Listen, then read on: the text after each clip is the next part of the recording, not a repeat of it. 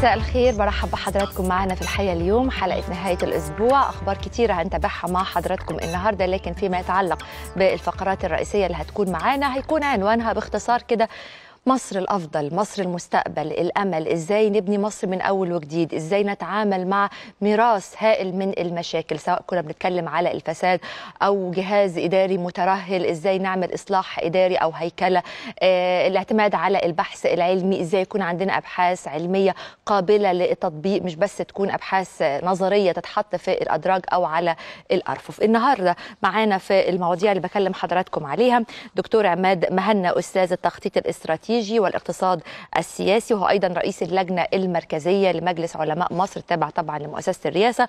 والفقرة الثانية هيشرفنا فيها دكتور علي عبد العزيز نائب رئيس جامعة عين شمس للدراسات العليا والمشرف العام على قطاع مراكز نقل التكنولوجيا والابتكارات. كل ده بنتكلم فيه في نفس الوقت اللي فيه أخطار بتحيط بالمنطقة اللي طبعا في تطورات مهمة هنتكلم عنها النهارده وداعش وسيطرتهم خلال اليومين اللي فاتوا على أجزاء مهمه من الأراضي العراقية والسورية. هنعرض مع حضراتكم كل هذه المواضيع ونتكلم فيها لكن نبتدي من أعمال المنتدى الاقتصادي العالمي بالبحر الميت اللي بدأ النهاردة في الأردن تحت رعاية الملك عبد الله الثاني عاهل الأردن ومشاركة الرئيس عبد الفتاح السيسي وعدد من القادة والمسؤولين الدوليين.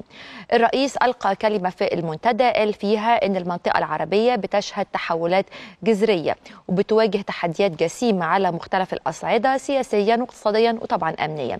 وإن ده بيتطلب آه إن إحنا نكون مدركين لعمق وخطورة هذه التحديات إن لازم جهود المجتمع الدولي تتكاتف لمواجهتها.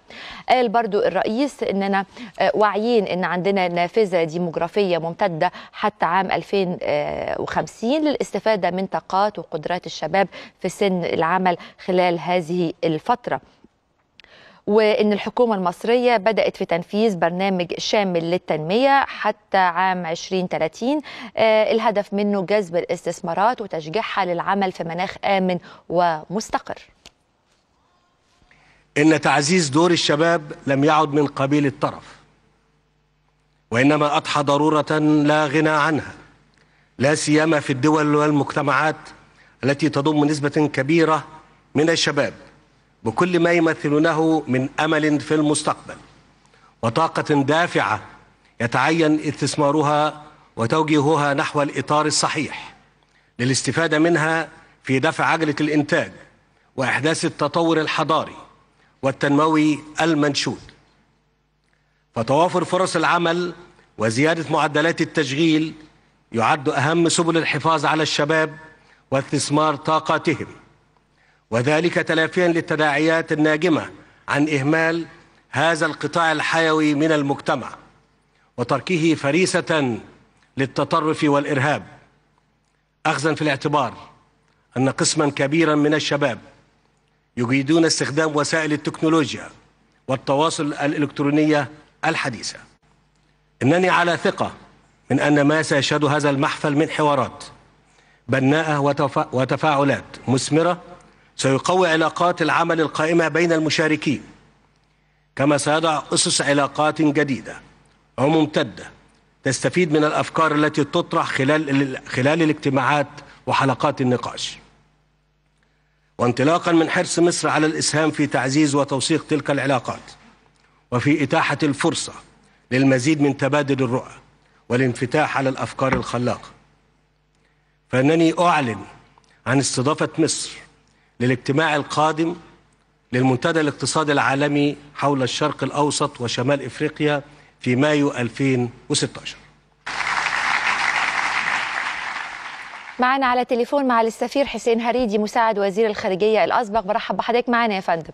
شكرا يا فندم. أهلا وسهلا بحضرتك. بالتأكيد عايزة أعرف اولا فيما يتعلق بدلالة استقبال مصر للمنتدى إن شاء الله في مايو 2016 ثانيا إنه أي تجمع أو أي محفل دولي بيكون فرصة للرئيس عبد الفتاح السيسي إنه يتكلم على خطورة الإرهاب الموجود في المنطقة ودعوة المجتمع الدولي للتكاتف علشان طبعا التعامل معاه. يعني في كلمة السيد الرئيس أمام المنتدى الاقتصادي العالمي في نعم. البحر الميت في الأردن اليوم حقيقة السيد الرئيس تناول عدة نقاط هامة اتفضل بالنسبة لمستقبل المنطقة سواء من الناحية الاقتصادية أو من الناحية الأمنية والسياسية. مم. وطبعا زي ما حضرتك تفضلت واشرتوا إن مصر هتستضيف الاجتماع القادم آه، في في آه، في مايو 2016 إن شاء أيوه الله. إن شاء الله آه، هذا طبعا المنتدى الاقتصادي العالمي ده محفل اقتصادي عالمي في غاية الأهمية بيجمع كبار رؤساء الشركات متعددة الجنسية والبنوك المصارف العالمية الكبرى والعديد من قادة الدول وكما تعل- تعلمين حضرتك هو بي- بي- بيعقد مرة في الشتاء في سويسرا ومرة في الصيف آه، أو قبل الصيف بقليل في في الأردن. آه، لا شك إنه إشارة السيد الرئيس إلى إلى آه، إن مصر وضعت خطة تنمية شاملة حتى 2030 لا شك إن هي هتضفي على أعمال الاجتماع القادم في مصر العام العام المقبل. أهمية كبرى وأتمنى من من من اليوم وحتى انعقاد القمة يكون عندنا إن شاء الله آه، مجلس نواب آه، وتكون مصر حققت آه، تقدم ملموس على صعيد المشاريع الكبرى إن شاء الله هنكون افتتحنا المشروع القومي الكبير قناة توسعه السويس. قناة السويس في. اغسطس المقبل. ولا شك أن وهنكون أنجزنا الكثير على صعيد توليد الطاقة خلال هذه الفترة تمام. كل هذا هيعطي شاء الله. للاقتصاد المصري لكن. السيد الرئيس من ناحية أخرى أيوه يا فندم تحدث عن التحديات ال ال ال ال ال الأمنية والسياسية اللي بتواجه ال ال المنطقة مم. و- وربطها بعنصرين أساسيين مم. العنصر الأول هو ال- التكنولوجيا ووسائل التواصل الاجتماعي والعنصر الثاني هو الشباب. كفرصه كبرى لتوظيف طاقات الشباب لبناء لإعادة بناء المجتمعات العربية على أسس ديمقراطية وإعطاء فرصة للشباب إن هو ينخرط في العمل العام عن طريق الوسائل التواصل الاجتماعي وإن هي هذه الوسائل تكون حضرتك دافع للتقدم والتواصل بين ال ال ال ال ال الأجيال بدلا فندم. أن تستخدم في تغذية الأفكار المتطرفة. تمام. تمام يا معالي السفير. أنا بشكرك شكرا جزيلا معالي السفير حسين هريدي مساعد وزير الخارجية الأسبق.